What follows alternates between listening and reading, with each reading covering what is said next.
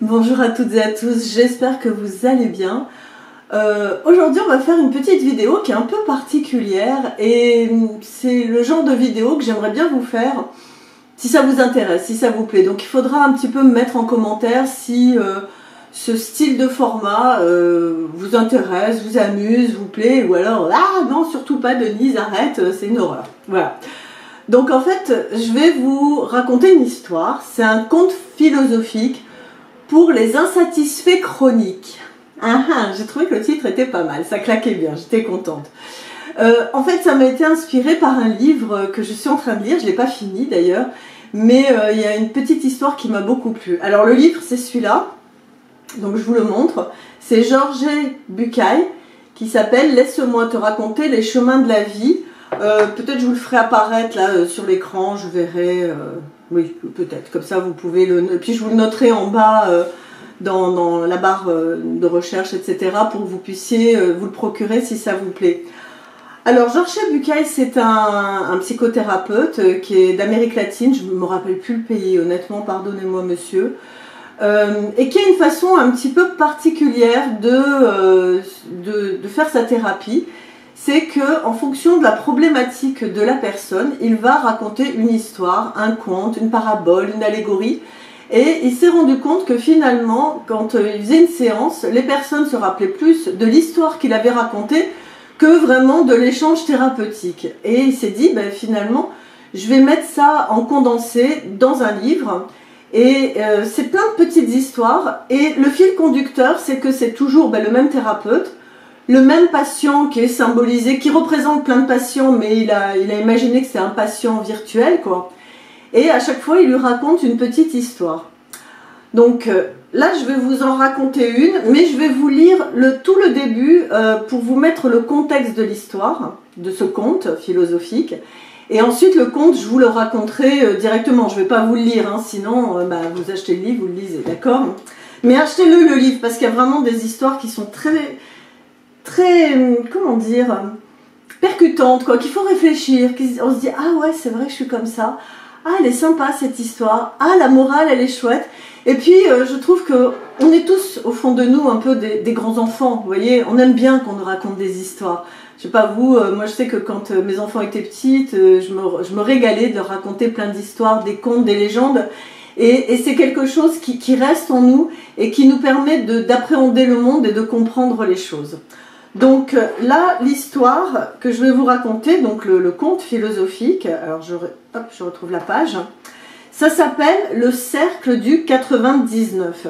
Alors je vais vous lire juste le début, où c'est juste euh, la, rencontre entre le thérapeute et son patient. Et après, comme je vous ai dit, le conte, je ne vous le lirai pas, je vous l'expliquerai.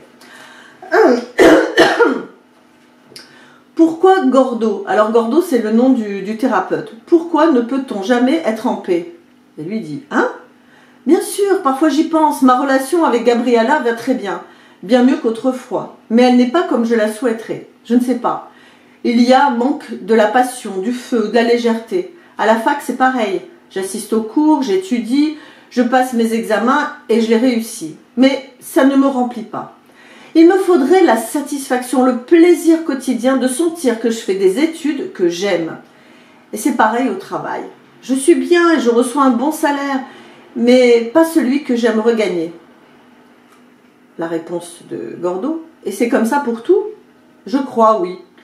Jamais je ne peux me reposer et dire bon, maintenant oui, tout est parfait. C'est la même chose avec mon frère, avec mes amis, avec l'argent, avec mon état physique, avec toutes les choses qui m'intéressent.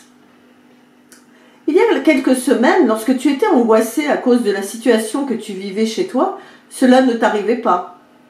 Je suppose que oui, il y avait d'autres préoccupations plus importantes qui cachaient ces choses-là. Ce qui se passe en quelque sorte aujourd'hui est un luxe, c'est ce qui donnerait sa plénitude à tout le reste. C'est-à-dire que tes inquiétudes surgissent lorsque les gros problèmes disparaissent. C'est ça. C'est-à-dire que ce problème apparaît quand tu n'as pas de problème. Comment ça? Eh bien, quand tout va mieux. Euh, voilà, oui. Dis-moi, Démian. Démian, c'est le nom du, du patient. Qu'est-ce que ça te fait d'admettre que tu as un problème qui survient quand tout va mieux? Je me sens stupide. La réalité est ce qu'elle est, dit le gros. Il l'appelle le gros, son thérapeute. Il y a longtemps que je ne t'ai pas raconté une histoire de roi. C'est vrai. Il était une fois un roi, disons classique. Qu'est-ce que c'est euh, un roi classique? Un roi classique dans un conte, c'est un roi très puissant qui a une grande fortune, un beau palais, des mecs qui à sa disposition, de belles épouses et la possibilité d'obtenir tout ce qu'il désire. Mais malgré cela, il n'est pas heureux. Ah. En plus, et plus le conte est classique, plus le roi est malheureux. Et ce roi, à quel point est-il euh, classique? Très classique. Le pauvre. Voilà, ça c'est en préambule, hein, d'accord? Alors, donc, il, va vous, il raconte l'histoire d'un roi qui est très très triste. Alors ce roi, comme vous l'avez compris, il a tout ce qu'il veut, mais il est triste, il est malheureux, il ne comprend pas pourquoi. Et tous les matins, il a un serviteur, un page, euh, qui vient le, réveiller et qui le réveille, Majesté, c'est l'heure de vous réveiller, etc. Et il est toujours de bonne humeur, toujours joyeux, toujours heureux. Et le roi se dit, mais c'est pas possible, pourquoi lui il est heureux? Je comprends pas. Il a rien. Il est pauvre, il habille en guenille, il a une maison, c'est un, un taudis, euh, il mange presque pas à sa faim, il mange mes restes, et il est quand même heureux. Donc il demande la question, il pose la question à son serviteur, il lui dit Mais pourquoi tu es heureux? Il lui dit bah, Je suis heureux, Majesté, parce que bah, j'ai un travail, je vis pour vous, euh, je vous sers, euh, j'ai la chance d'avoir un petit peu vos restes, ça peut nourrir un peu ma famille, donc je suis heureux. Il lui dit Mais tu veux pas plus? Il lui dit Non, ça va, je suis très bien, je suis heureux comme ça. Et lui dit bah, Donne-moi le secret de ton bonheur, donne-moi le... comment tu fais pour être heureux? Et le pauvre serviteur euh, qui commence à avoir un petit peu peur, là, il dit, mais je ne sais pas, majesté, j'ai pas de secret, je, je, suis juste heureux, c'est tout. Il dit, dis-moi quel est ton secret, sinon je te coupe la tête. Il lui dit, ben non, majesté, j'ai pas de secret, je vous assure. Il lui dit, bon, allez, va-t'en, va-t'en, tu m'énerves. Il va pas lui couper la tête pour ça, quand même, il est quand même pas si fou que ça. Et il le fait partir. Et le roi, il réfléchit, il se dit, c'est pas possible. Comment il fait pour être heureux? Moi, j'ai tout, je suis malheureux. Lui, il a rien, il est heureux, c'est pas normal. Donc il convoque le grand sage qui va le conseiller. Et ce grand sage, je tourne la page parce que je suis en même temps l'histoire, lui dit, et lui dit, voilà, euh, pourquoi lui il est heureux, moi je suis pas heureux, je comprends pas, qu'est-ce qui se passe? Et le grand sage lui dit, en fait, euh, il ne fait pas partie du club des 99. Il dit, mais qu'est-ce que c'est que ce club? Je lui dit oui, euh, il faut faire partie du club des 99 pour être très malheureux. Je voulais juste ce petit discours là parce que j'ai trouvé que c'est très très bien écrit, c'est très drôle, hein, d'accord? Voilà, juste après je reprends. C'est qu'il est hors du cercle, hors du cercle, c'est ainsi. Et cela le rend heureux Non Seigneur, c'est ce qui l'empêche d'être malheureux. Voyons, si je comprends, être dans le cercle te rend malheureux. Exactement. Et lui n'y est pas, c'est cela. Et comment en est-il sorti? Il n'y est jamais entré. Quel est ce cercle? Le cercle du 99. Vraiment, je ne comprends rien. Pour que tu comprennes, il faudrait te le montrer par des faits. Comment? En faisant entrer ton page dans le cercle. C'est cela, obligeons-le à y entrer. Non, Majesté, personne ne peut obliger personne à entrer dans le cercle. Alors il faudra le tromper. Cela ne sera pas nécessaire, Majesté. Si nous lui en donnons l'occasion, il y entrera de lui-même. Mais lui ne se rendra-t-il pas compte que cela fait son malheur? Oh oui, il se rendra compte. Dans ce cas, il n'entrera pas. Il ne pourra l'éviter. Tu dis qu'il se rendra compte du malheur qu'il connaîtra en rentrant dans ce cercle ridicule et que malgré tout il y entrera et ne pourra en sortir. C'est ainsi, Majesté. Es-tu disposé à perdre un excellent serviteur à seule fin de comprendre la structure du cercle? Oui. Très bien.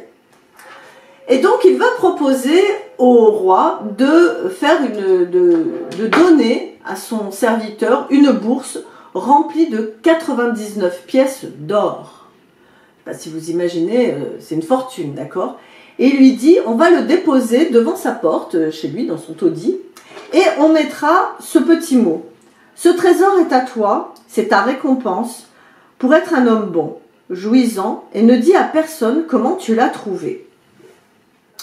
Et ils se cachent un petit peu plus loin, donc ils mettent ça devant la porte pour observer ce qui se passe, pour l'espionner en fait.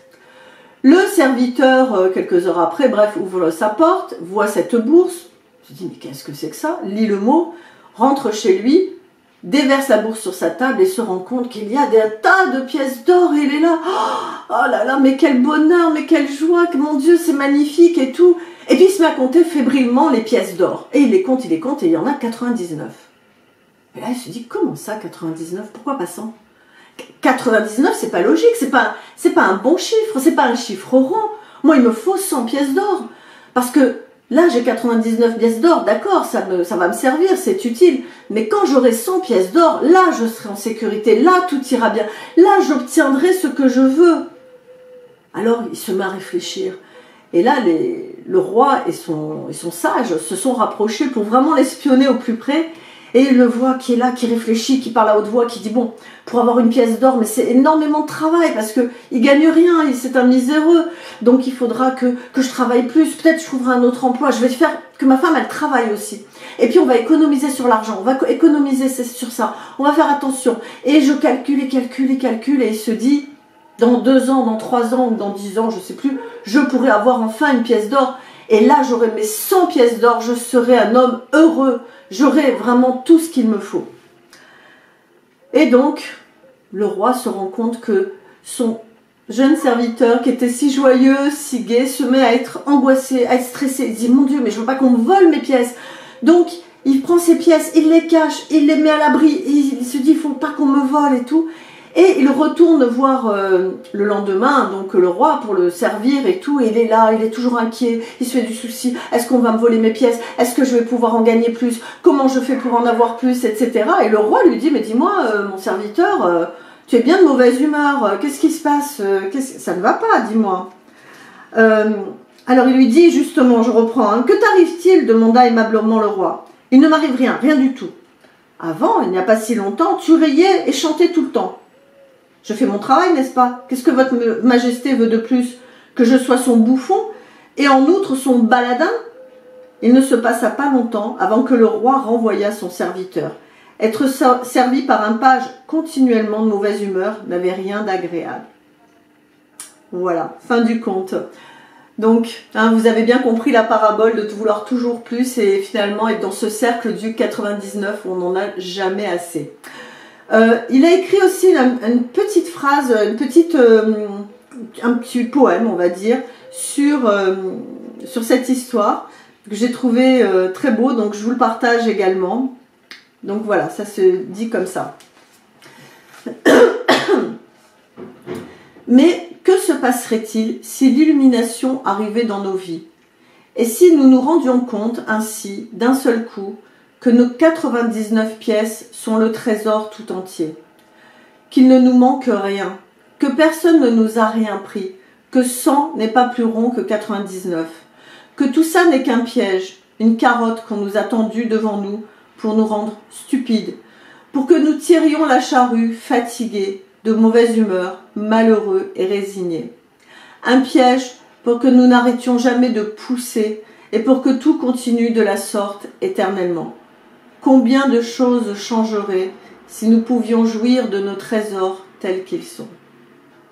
Je trouve que c'est une belle, belle conclusion. Voilà. Voilà, j'ai fini pour cette petite vidéo. J'ai voulu partager avec vous ce conte philosophique. Je vous fais pas de morale, je vous dis pas, il faut penser ci, il faut penser là. Chacun prend cette histoire comme il veut, euh, se l'approprie et en tire ses conclusions. Euh, vraiment, en tout cas, je vous recommande ce livre de Georges Chebucaille parce qu'il est très sympa. Vous voyez, se lit facilement. Et il y a plein de petites histoires comme ça. Si ça vous a plu, cette, euh, ce nouveau format de conte philosophique, euh, je vous en ferai encore d'autres parce que j'ai plein de petites histoires comme ça qui amènent à une réflexion, à une petite remise en question, à des prises de conscience. Donc n'hésitez pas à me le mettre dans, dans les commentaires. Ok? Je vous remercie en tout cas de votre écoute, de votre bienveillance. Comme d'habitude, si vous avez aimé, vous likez, vous partagez, vous vous abonnez. Et puis moi, je vous dis à très bientôt. Ciao